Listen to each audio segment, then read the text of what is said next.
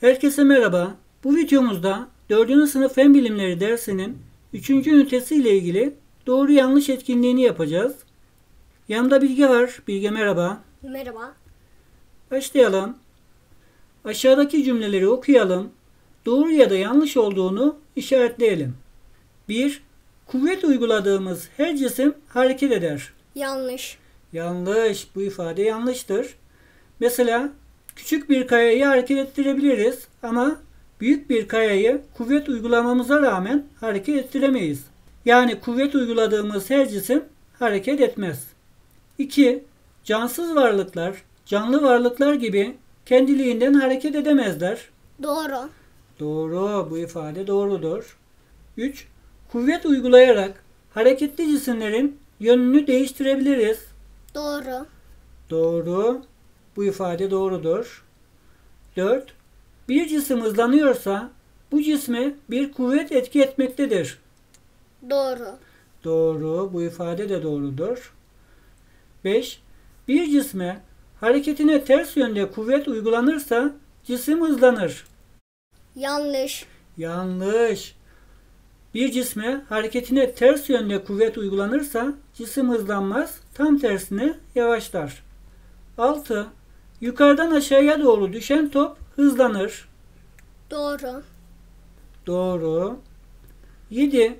Cisimleri çekerek de hareket ettirebiliriz. Doğru. Evet, doğru. 8.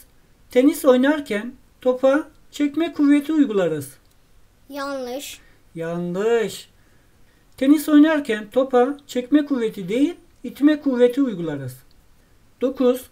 Buzdolabının kapağını açarken itme kuvveti uygularız. Yanlış çekme kuvveti uygularız. Aferin. Buzdolabının kapağını açarken çekme kuvveti uygularız. Kapağını kapatırken de itme kuvveti uygularız. 10.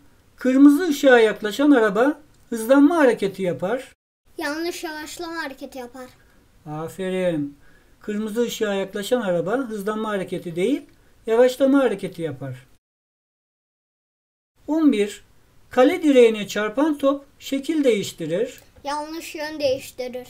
Aferin. Top şekil değiştirmez, sadece yön değiştirir. 12. Sünger esnek bir cisimdir. Doğru. Doğru. 13. Pet şişe esnek değildir. Doğru. Doğru. 14. Bazı cisimleri temas etmeden de hareket ettirebiliriz. Doğru. Doğru. Örneğin mıknatıs demiri çeker. Demiri mıknatısla temas etmeden de hareket ettirebiliriz. 15.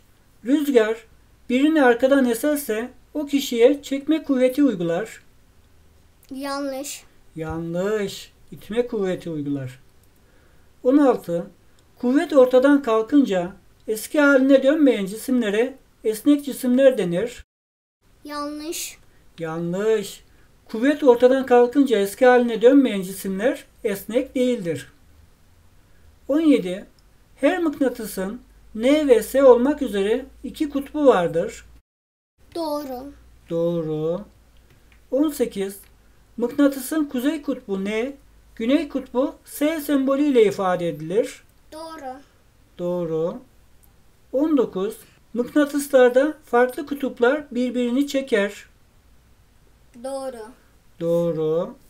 20. Mıknatıslar demir, nikel ve kobalt gibi maddeleri çeker. Doğru. Doğru. 21.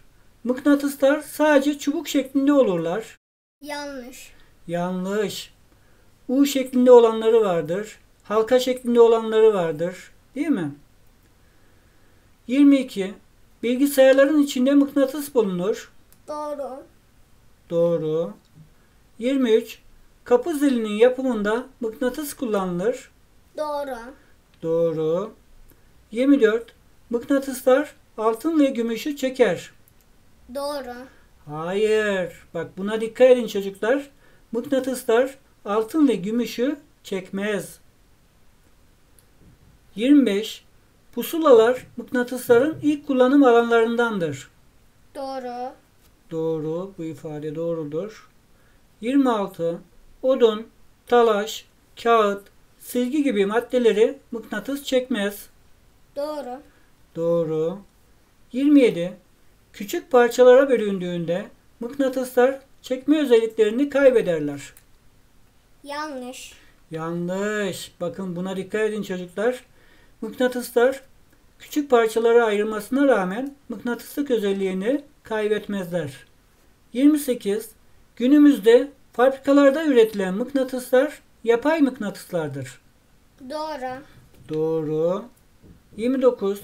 Mıknatıslarda aynı kutuplar birbirine çekme kuvveti uygular. Yanlış. Yanlış. Aynı kutuplar birbirini iter, farklı kutuplar birbirini çeker. 30. Maglev treninde tekerlekler yerine mıknatıs kullanılır. Doğru. Doğru. Maglev trenlerinde trenin daha hızlı gitmesi için tekerlekler yerine mıknatıs kullanılır. Evet çocuklar sorular bu kadardı. Başka bir videoda görüşmek üzere. Hoşçakalın. Hoşçakalın.